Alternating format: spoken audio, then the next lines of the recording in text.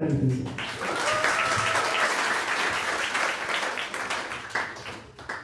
Alhamdulillah. I'm very happy to see you here today. And uh, I'm delighted, I'm thrilled to be with you. I will start with something very simple because, brother, in the ayah which he recited, talk about the stony hearted people. قصد قلوبهم be all the time in the companionship of Allah. كونوا في معية الله طوال الوقت. ألا بذكر الله تطمئن القلوب. With the remembrance of Allah, you will have very satisfied and settling heart. How can you be in معية الله? كيف تكون في معية الله سبحانه وتعالى? How can you be in the companionship of Allah subhanahu wa ta'ala? How? By reading His book, by looking at His words, by reciting what He revealed Abu Muhammad sallallahu alaihi wasallam, by listening to His words as well. If you can't read, you look at the wording, you listen to the recitation. This is the ma'iyah of Allah. This is the companionship of Allah. You can imagine, sisters and brothers, that Allah is sitting with you all the time to listen to your beautiful recitation. Can you imagine that? Can you imagine that? Because you are reading His words and He is listening to you. And He is giving the one who is reading with a struggle to ajr, two rewards one for the struggle and one for the recitation.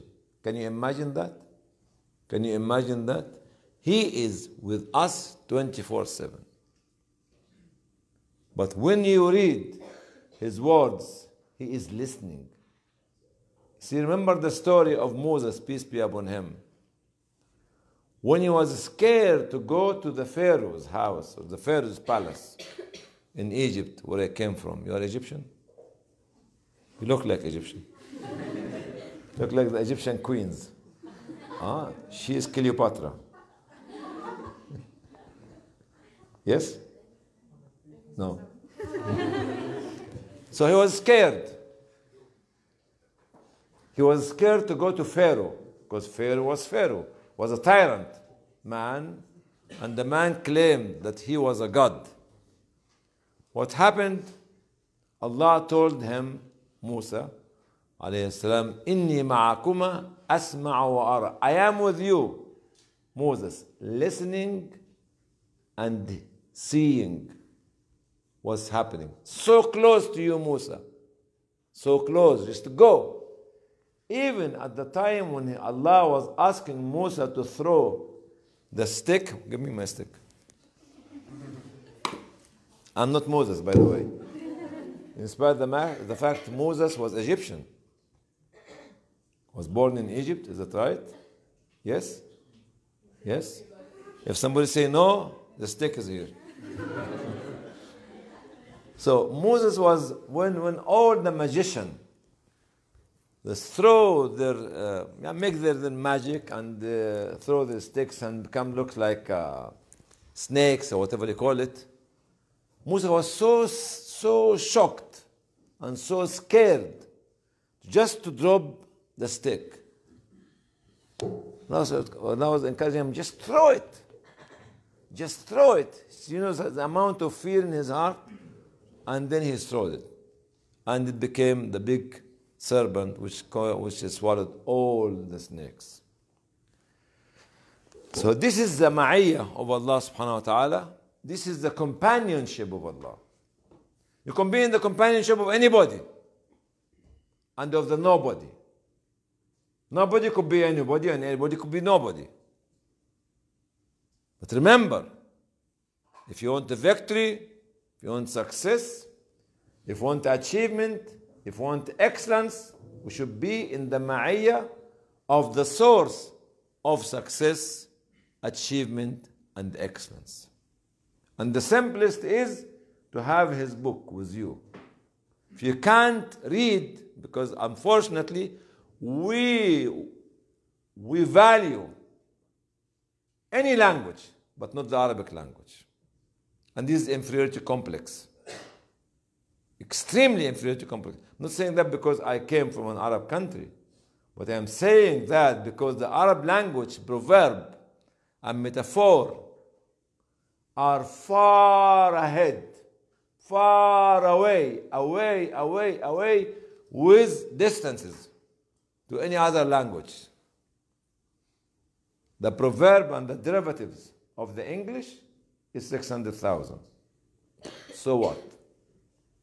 The proverb and the, not the metaphor, the derivatives of the French is 160,000. So what? The proverb and the derivatives of the Russians 130,000. So what?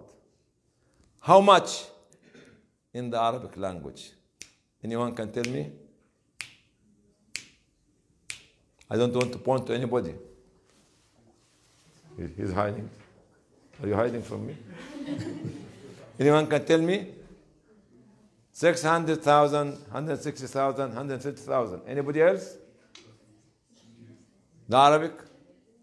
No, no hands up?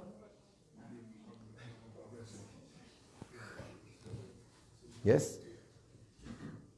Million. More than that. It's about 12 million. 12 million. And you know what, sisters and brothers, what are we missing and losing of not understanding the most rich or the richest language that Allah subhanahu wa ta'ala revealed? That's why He revealed the Quran in Arabic. This is the introduction of what I'm saying.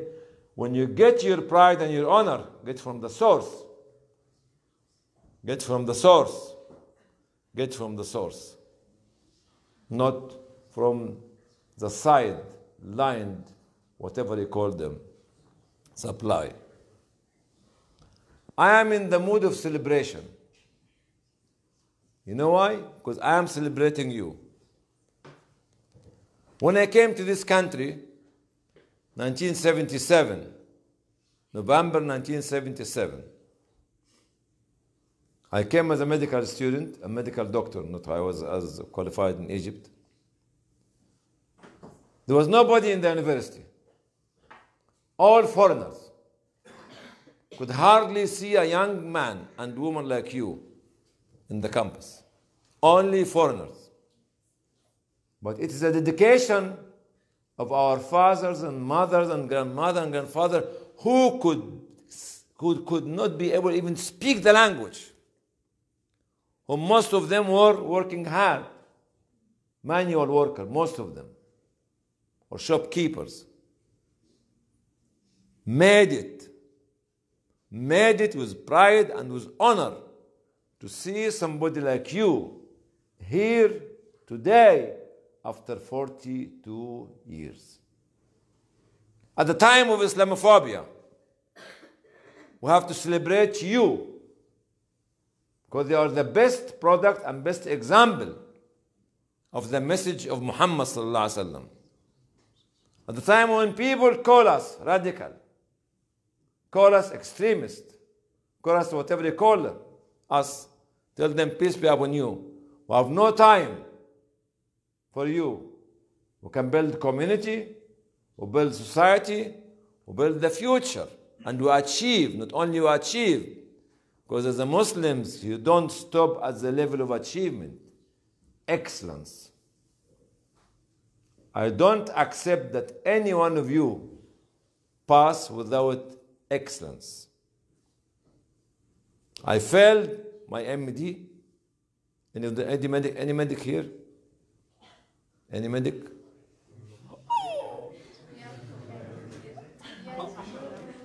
Any med- medical? Anybody else?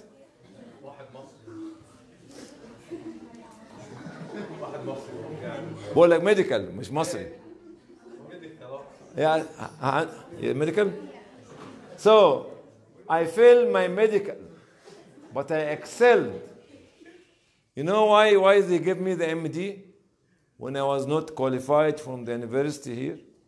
Qualified from Azhar University? They valued the product. We have to excel. Even my, my first time was a major failure. Major failure.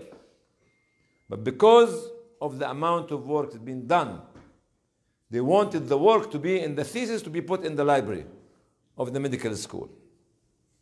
So I myself, at my age, and my time, and my life, will never accept that any one of us in this room qualified without excellence.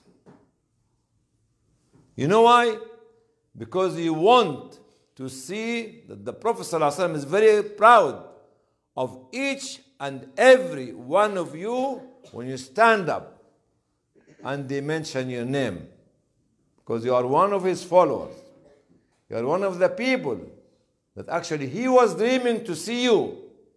And he said one day, I'd love to see my beloved ones. And his companions said aren't we your beloved ones? Muhammad said, no. You are my companions, but you are my beloved ones. In Birmingham, in Manchester, in Stoke-on-Trent, in London, in everywhere. So when you stand in front of Him, in front of Allah, with an excellence, the excellence today, we celebrate what? We, um, I said I celebrate you in this room. You accept the celebration? Yes? Are you celebrating with me? Oh, he's sleeping, those people. Where is he coming from? Ah, give them the food. wake them up, wake them up, wake them up. Wakey, wakey. We're just, we're just intrigued. Indeed. Oh, oh, fine. Be careful, I'll get you. okay. So, the Muslim schools, which is celebrating nowadays, how many, how many Muslim schools actually on the top? In the report which came a few, a few days ago? Huh? How many? You don't know that. It's celebration of the success of your community, of our community. Muslim school started as front room by parents before the mosque were built 30, 40 years ago. I used to see it in Birmingham in the front room. The uneducated workers from Yemen and from other places, Pakistan or India or Bangladesh, was trying to do it to teach their children at home. Is how much our success story goes back 30, 40, 50 years ago. It was a roadmap created and designed by a people who could not be able to speak the language, did not know the culture, did not know how to build the community, but they built it with their hearts, with their minds, with their soul, with their emotion, with their dedication, being following Muhammad sallallahu alaihi wasallam. This is a success, success of the celebration. So each one of us in this room must stand up for what he or she will be able to achieve and to excel as well. If I fail, I fail to learn, then to succeed, then to achieve, then to excel. I don't take failure as an answer. Never in our life to take failure for an answer. Never. Never. Never. If they shame me, they fame me. The more they shame me, the more they fame me. Because what? I have no time for them. Because I have my plan, my aim, my objective to achieve. And we must achieve what we need to achieve. This is the message that I learned here over the last 42 years. When we managed to start long time ago with no resources, you know who built the organization she mentioned? Her name is young people like yourself. At the age of 16, 17, 18, 19, 20. We were having no place to stay in Islamic relief, no office. But they used to come after the school till midnight to put in the good old days. There was no internet, there was no what is Wi-Fi. Oh, you know what we, have, we used to have? Paper, letters, envelopes, stamps, and we used to use a sponge and sticking the, the addresses on this. Used to be until midnight. Some of them now is working in United Nations. Some of them now is working in different European countries. And some of them, them is actually leading in the British government. But they started at the age of 16, 17, and 18. Like you. This how we can see the success story of generation to come. If they call you a name, they call you a name, turn your back to them, said, Peace be upon you, I have no time for you. They want to engage in a fight, you in a fight with them. I have no time for fight. We have to live for an aim and the objective to achieve, and we must do that. We have to aim for a role to play, a role. Don't accept in your life, at your age, in your time, in any country, that you live without having a role to play. Not only any role, but a leading role. There's no humility when actually you don't ask for your right. You ask for your right. You stand for your right. Don't give up your right to anybody else. So aim for us and role to play and message to deliver and spread.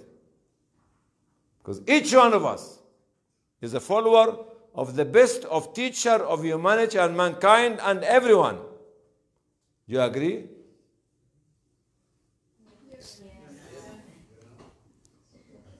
This is our message. So when we come back to what we are, what we are doing, we have to have this role to play. What's our role in life? What's our role in life, sir? What's your role in life? Um, to not just survive, but to thrive. Sorry? That, not just to survive, but to thrive, to succeed. Very good. Very good. Very good. Very good. Very good. To succeed for what? Succeed in uh, everything you can. Very good. Yeah. Have, have literally no end to ambition. Very good. Can you come next to me, please? At least uh, the people in, in America will see you. Yep. Yeah, sir. Just tell them what's your name. Um, my name's Nawaf. Yes, Nawaf. It's Arabic name. Yes, it is. so, so um, taken from um, my wonderful friend's mes- um, speech, I believe um, there is no end goal. You just got to keep achieving, keep succeeding, keep thriving, keep excelling. The sky's the limit, really. So, so whenever you set a goal, just smash it and then set more goals. Smash them. set more goals. It's a never ending cycle of life. That's my message, really.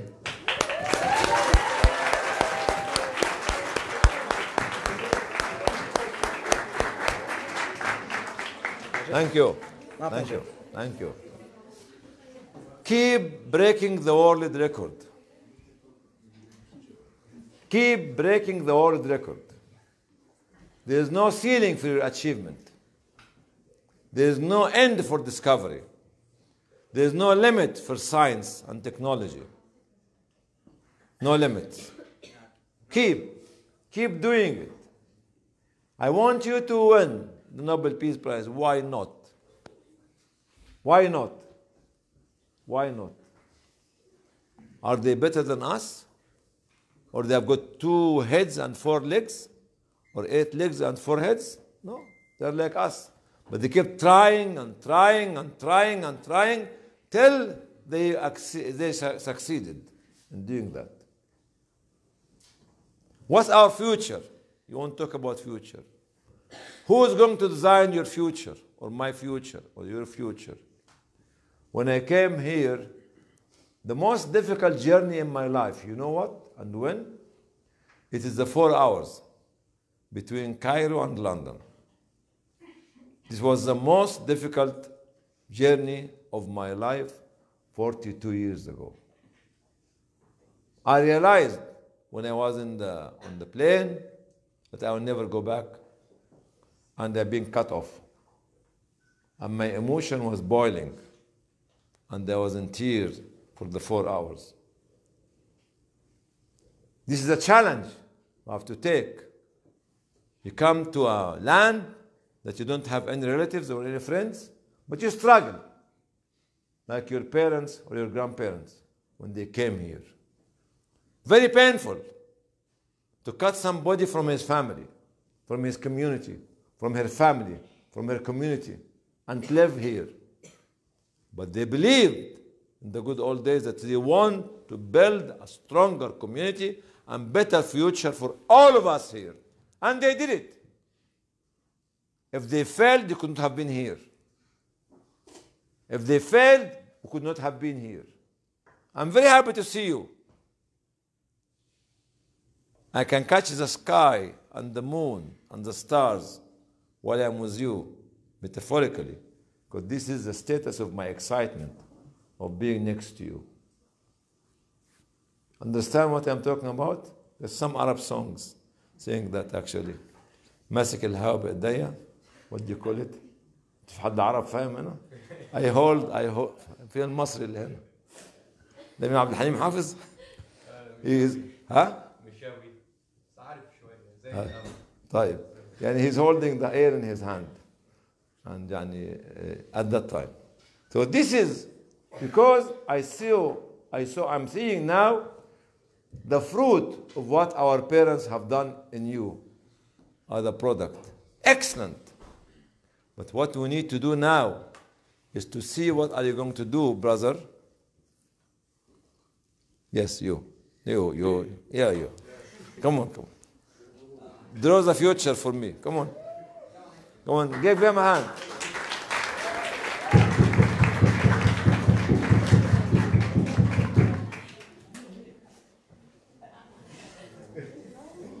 Is easy, it's trying. Yes, you. We're talking about the future. Inshallah. Yeah, Bismillah. Okay, um, so. Um, well, I don't know what to talk about. What do you want to talk about? future. Okay, so. Uh, I've got one main message, especially for all of us, uh, especially uh, considering that we're, all in all different ages, whether postgrads or undergrads. Uh, we've got to be careful of the society we're growing up in today. Uh, for example, uh, especially with all the judgment and all the uh, I don't want to use very bad words, but like hypocrites, I suppose.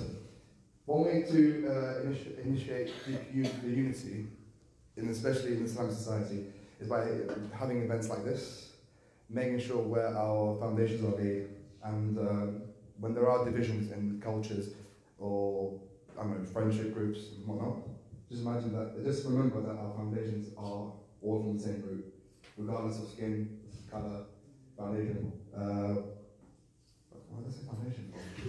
These guys would like that. I don't know. I would. I'm sorry, boss. I'm not trying to understand. I'm sorry. Oh crap. It's really bad.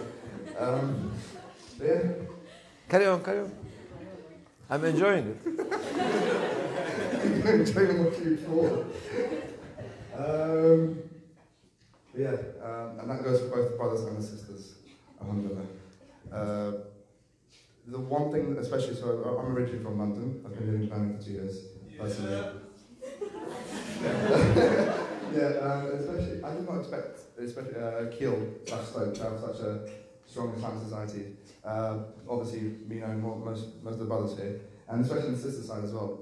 And uh, not being judgmental, but the unity between the brothers and the sisters, segregate and together, it's really strong, in alhamdulillah. And personally, from me being from two of the largest cities in the, in the UK, I don't really see that from Birmingham and London. So yeah, just. that really. Thank you. Thank you. Thank you. Thank you. I want a last, last statement from one of you to come and tell us about. Sorry?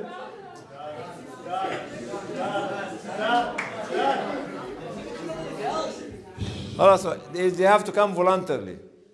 Anybody want to stand up? Danny, Danny. This one. Danny, come on, Danny. Last, last statement.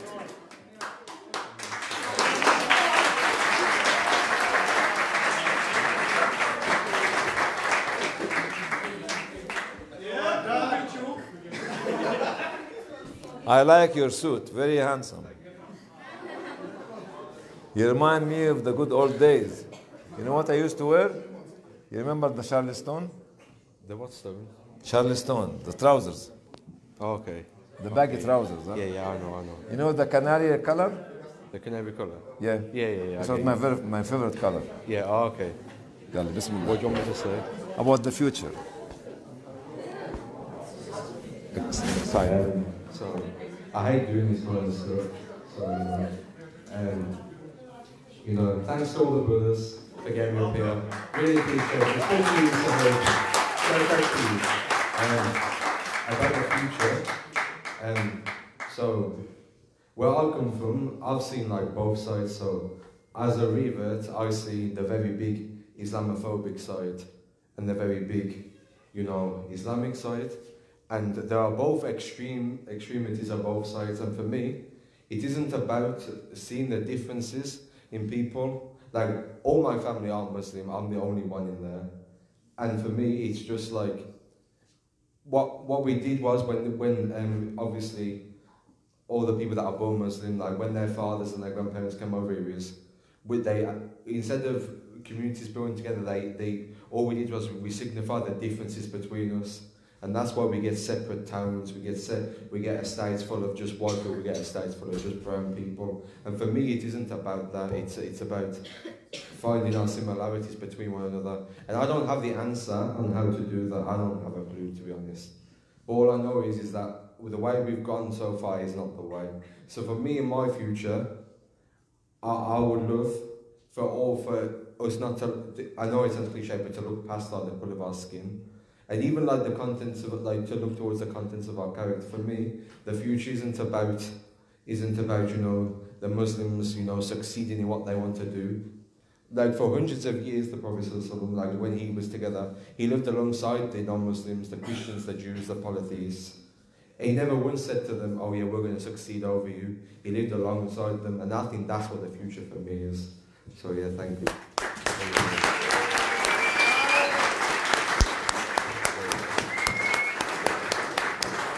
Thank you. With these remarks, I can give you, I thank you very much because the time is uh, over now. And I wish you um, all the success. Inshallah. Thank you.